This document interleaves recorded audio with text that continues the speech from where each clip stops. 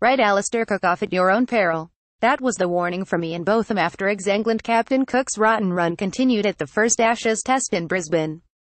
England arrived in Australia with question marks over their inexperienced top order. But it is veteran opener Cook who is the biggest concern after being caught hooking Josh Hazlewood for just seven in England's second innings. Unheralded top-order batsmen Mark Stoneman, James Vince and Dawid Malan boasting a total of 15 tests experience were supposed to be England's weak link this series. However all three registered half-centuries in England's first innings. In contrast, 32-year-old Cook's first Ashes test grand total is 9 runs.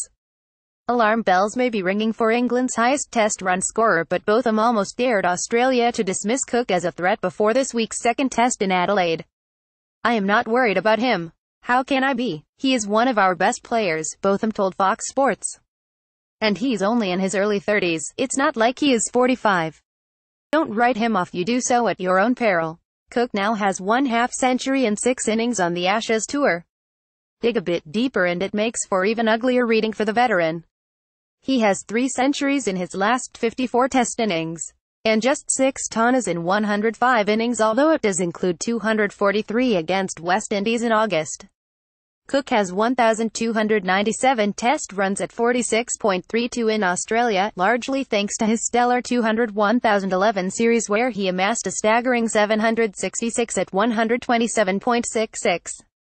Botham believed it was a matter of time before Cook again reveled on Australian soil. He hasn't forgotten how to play in the last couple of weeks believe me he will get runs this series, he said. And he was bit unlucky getting caught hooking yesterday, a yard either way and it was a boundary. England quick Stuart Broad wasn't concerned by yet another cheap Cook dismissal.